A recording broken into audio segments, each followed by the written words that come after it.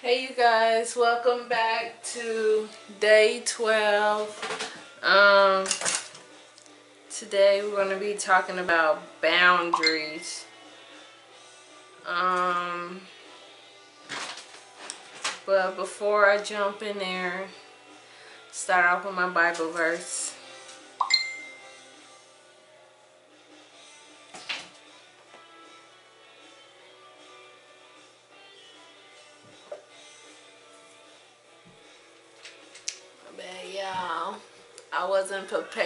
Like I talked about yesterday.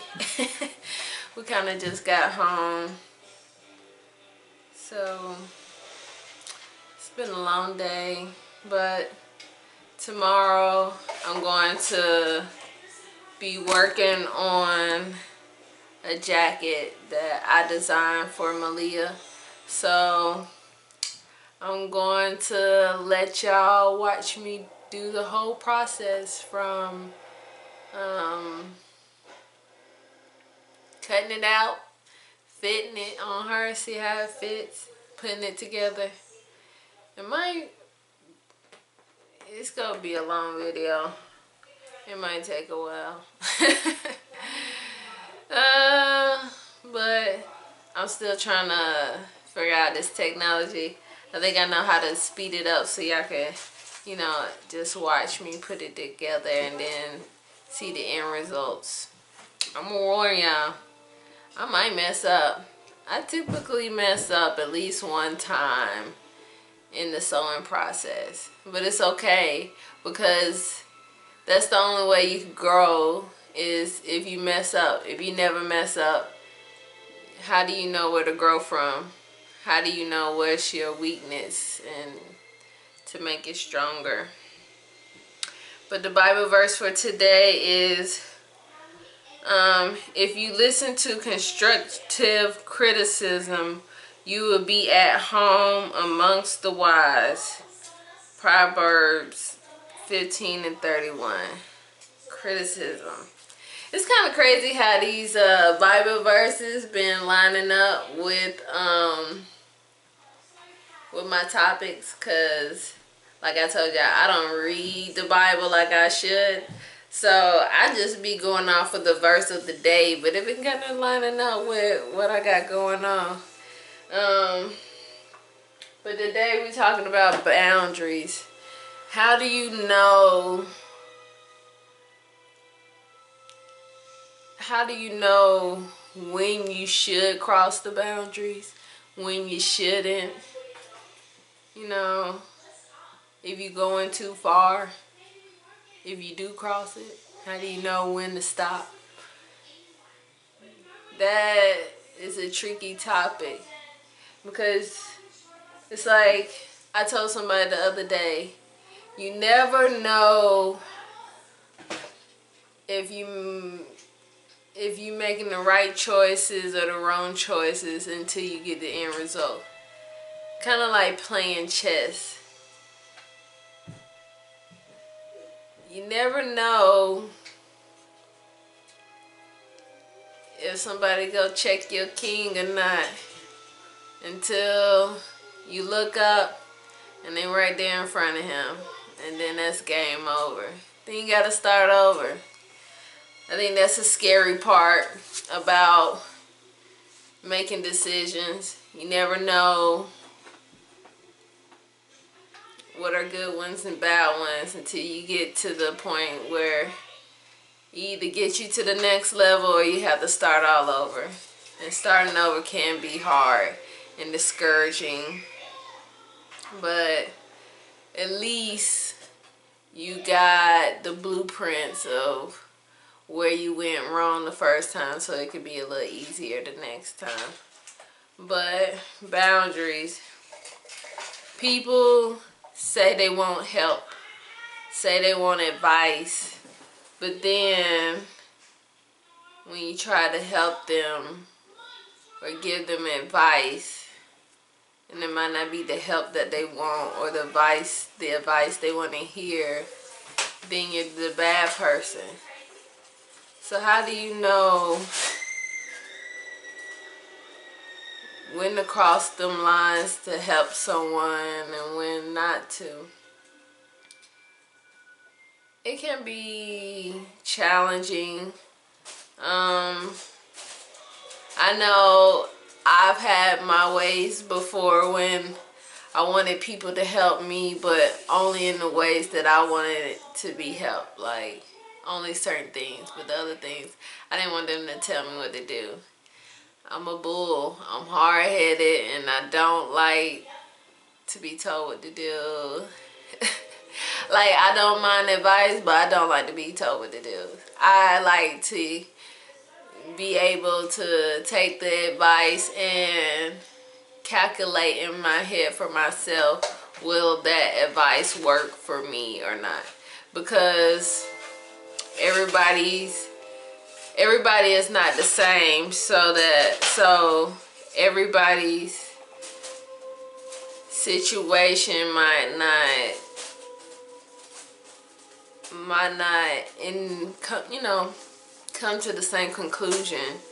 Just because what you went through got a better thing their situation might be slightly different. So if they try to implement what you did it might make things worse you never know.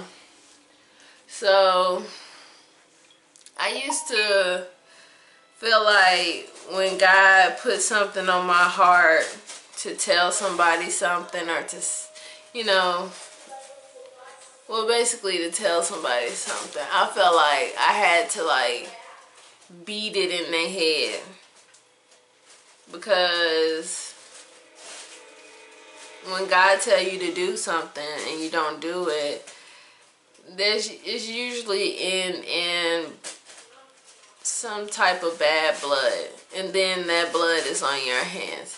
So i took that literal like you gotta you gotta do this you gotta do this because this is what god wants you to do and i don't want this on my hands if you don't do it.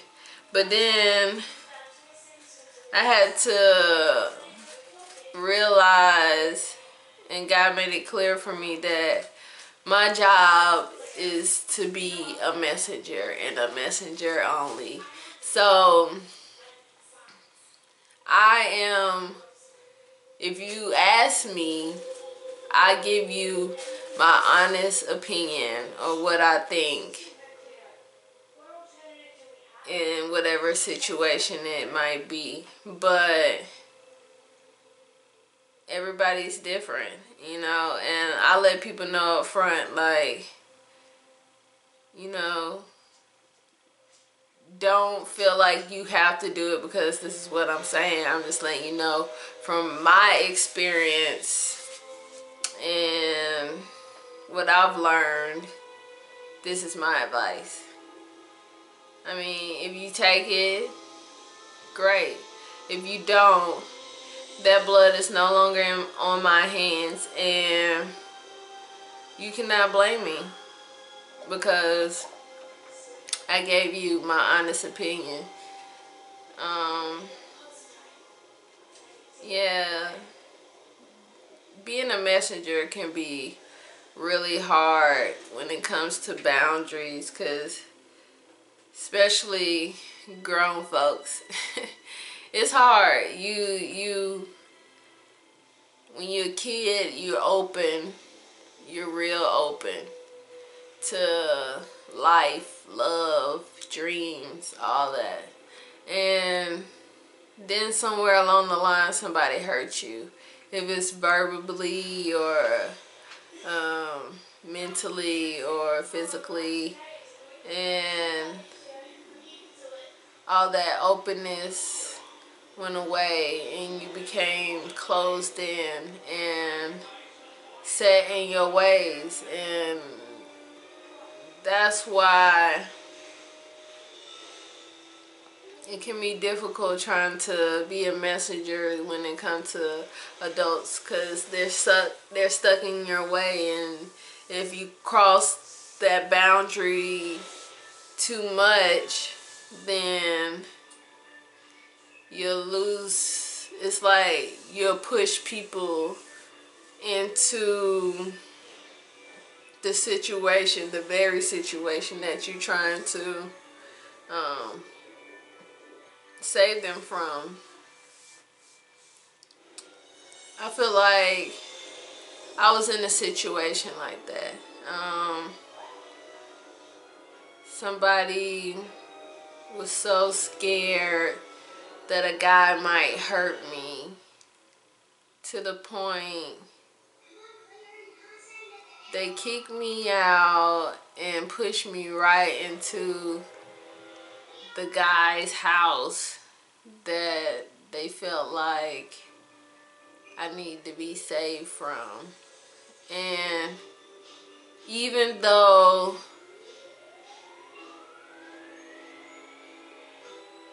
they was right about the guy, it was like you didn't give me time, you know, to learn for myself. You just pushed me straight into the situation, which made things harder, I feel like, to get away from the guy.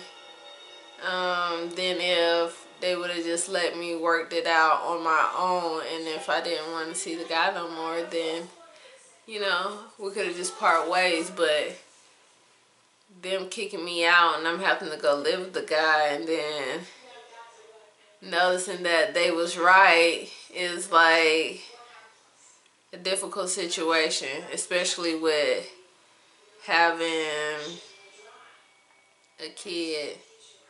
Cause my kid grew uh, attachment to him. She really loved him and he loved her like she was his kid, but me and him just wasn't compatible like we thought we was. So it's just, I think sometimes that boundary we we want to save people so bad, but that it ends up hurting the person more. And but what I've learned is it's not my job to save anyone. Just like people have made it very clear that's not their job to save or help me in any kind of way, which is totally fine. That's their opinion, feelings. I can't force nobody to want to help me or whatever. So, I can't sit here and expect to save people.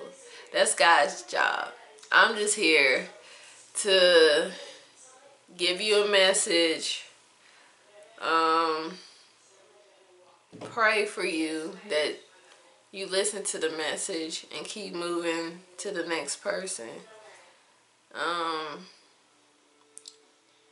I've been learn trying to learn balance. When they say too much of anything can kill you, that is so true. Even the good stuff, too much of the good stuff can kill you. So it's like you gotta find a happy medium in everything. Everything's about balance. Just like I know I'm getting off subject a little bit, but the movie The Shack, that movie is so good. I don't know. I just love that movie. It had me crying. Every time I watch it, I cry. I'm a big crybaby. So, movies like that, I watch them alone because I don't like for people to see me cry. So, I watch them by myself. and be in the room boo-hooing.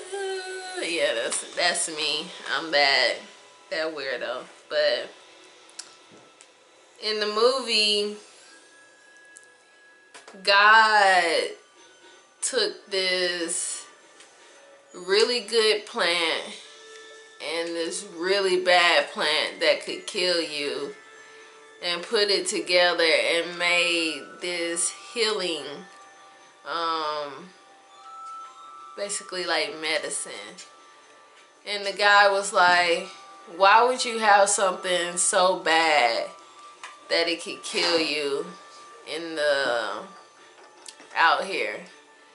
And that to me was like a metaphor for this world. People always want to say, well, if God love us so much, if he's really real, why did he let the bad stuff happen?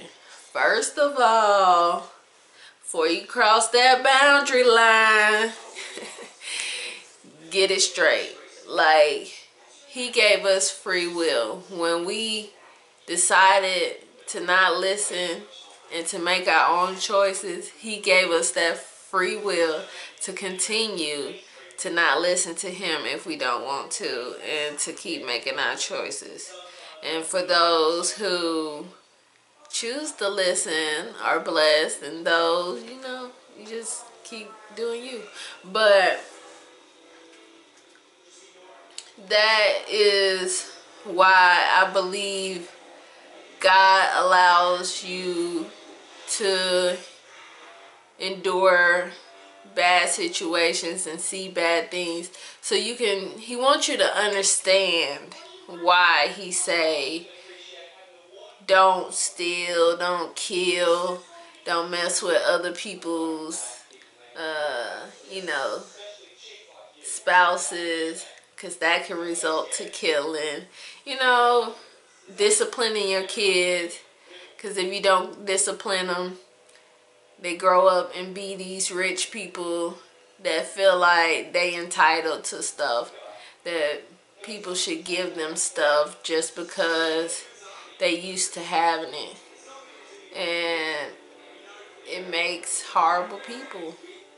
And the older I get the more I understand everything that God says what to do and what not to do. Because I chose to be nice to people no matter how much people have been mean to me or I'm sorry guys. It's kind of hard because I feel like it's very rare I, I run into nice people. And I used to think, why would people say you're too nice or, you know, yeah, like you're too nice. And this is, I would think like, what does that mean, too nice? And then, you know, you have people that try to manipulate manipulate your mind and control you because you want to see the good in everybody. Seeing the potential. Seeing the potential in people has got me in so many bad situations. Has got me, I feel like so behind in life. But I had to cross those boundaries and see for myself. I'm a I'm a hands-on learner, so I had to learn stuff the hard way. But now having a kid, 29 years old, my body is messed up. I'm tired of learning stuff the hard way, and I'm ready to learn be smarter about the way I learn. Um,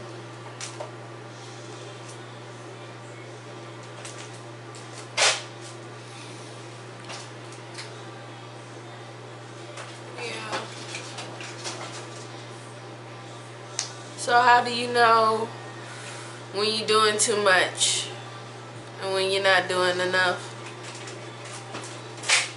How do you know those fine lines, those boundary lines. I don't know. Each situation is different. I think you can feel it. Um, I say the best way to go about any situation is to try to help within your means. Um,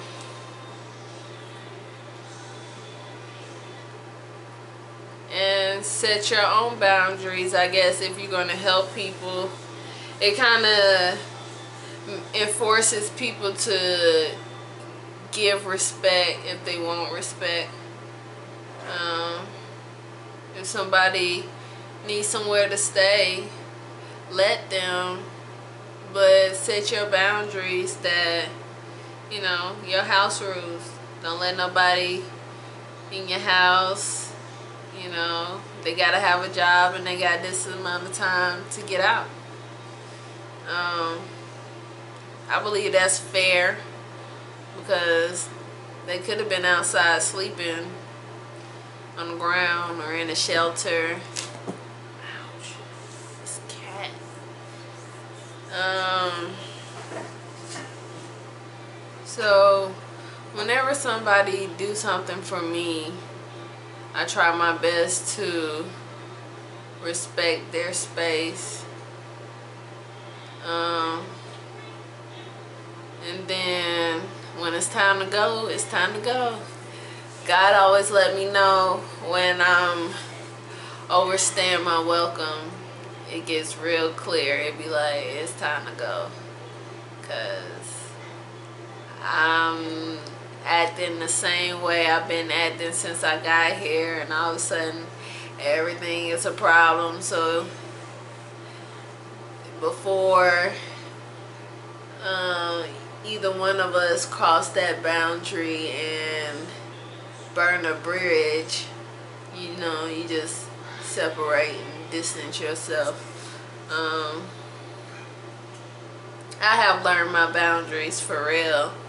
Um, I've got clarity and open eyes to see the red flags and to really take them into consideration instead of just hoping.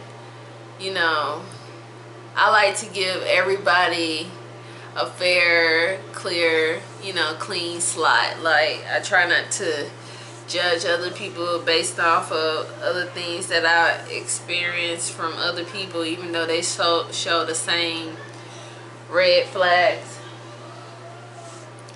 Um, so I I try to give everybody the same, you know, um, clean slate.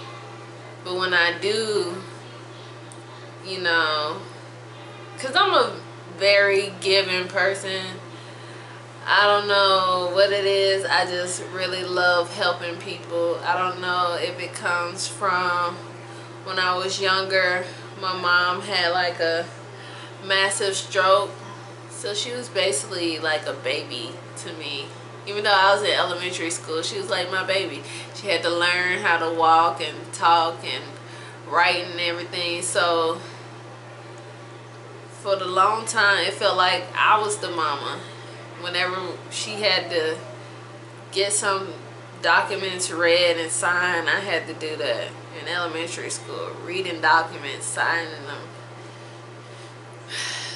Um, I had to give her her medicine and shots. My sister had a baby like around that same time. So I'm taking care of my mom and I'm taking care of my sister baby and like nine years old.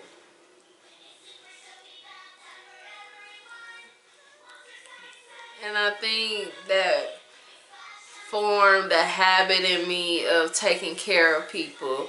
And I have, but I was taking care of the wrong people. I noticed that. I was always taking care of the wrong people that didn't appreciate the stuff that I was doing until I wasn't doing them no more. And then they want to be mad at me like I'm the one that did something. So I had to learn the difference between somebody that really wants help and somebody that is trying to manipulate you into getting what they want. Um, it hurts because you just want everybody to be happy, but I've learned some people are happy in their misery. And that is for real. Some people, they just like being miserable. I don't know if it's because they have become accustomed to it or they scared of the unknown. Who knows what it is, but I have learned to be okay to separate myself from people like that. Um, because I just want peace and happiness and I can't be around people that's constantly complaining about the same situation and you give them solutions and they make excuses for all of them. I can't be around negative people that want to tell you what you can't do. Because my God said anything is possible through Christ. Yes, that's what he said. So, by you telling me something is impossible, you're going against God. Yeah, you are. You telling me that God is a liar. That's what you're saying to me. And that's why there's so many people straying from God because a lot of followers contradict themselves and it makes people that haven't learned him yet um, hesitant to learn about him. Um, it just make them stray away. And I don't want anybody, I don't want to push anybody away from God. I just want you to know, yes, sometimes the journey is hard. Um, just like if you was a farmer, actually the farming process of growing the food is hard as heck. You gotta make sure the birds don't eat the seed before it can sprout, you know, the roots. Then when they, the roots get in and they start growing, then you gotta make sure the bugs not eating at it.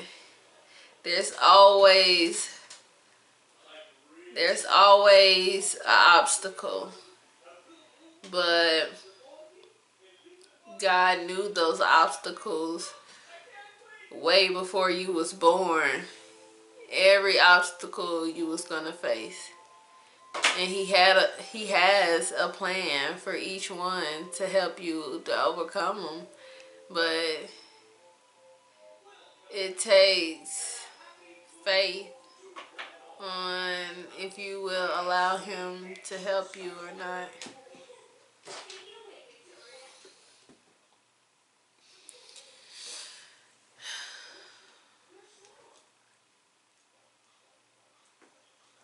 Will you cross those boundaries with God? Or would you stay on the easier side? The, the road that most uh, everybody travel. The path is already clear. And you know directly where it goes. But with God, he makes a new path. The hardest part is about is clearing the path. But once you clear it, you realize it gets you there quicker than that that path that everybody else take. And along the way, you get like goodies. You find like fruit, fresh fruit that you ain't never had before. you might even find a nice jacket. I'm just playing, y'all. nah, but seriously. Um